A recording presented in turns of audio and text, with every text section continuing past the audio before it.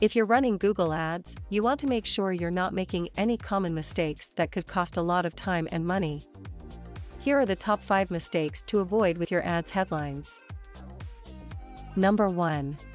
Not using keyword-rich headlines. Using keywords helps your ad appear in search results and lets searchers know that your ad is relevant to their needs. Number 2. Making headlines too long. Your headlines should be a maximum of 30 characters to ensure they are seen in full. Number 3.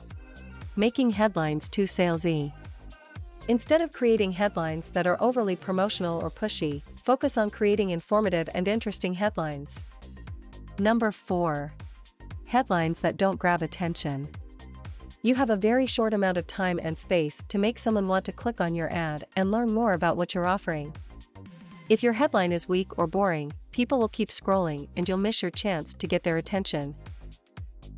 And finally, not using actionable language in your headlines. Use actionable language like download now, sign up today, or get started. To let the searchers know what they can do. By avoiding these mistakes, you can make sure your Google Ads headlines are effective and getting you the most out of your advertising budget.